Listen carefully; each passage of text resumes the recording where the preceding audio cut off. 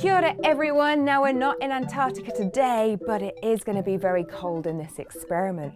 So most people think that when water freezes, it freezes at zero degrees Celsius. And that's typically true. But I'm going to show you how you can lower the freezing point of ice using something very simple.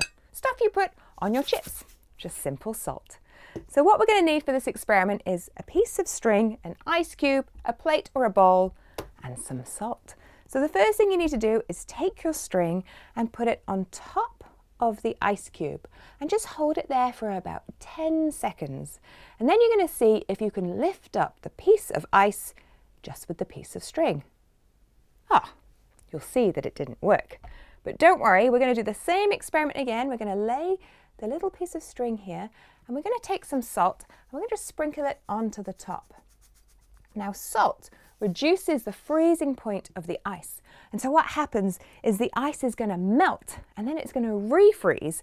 And if we're lucky, it's going to refreeze so that the string freezes inside of it.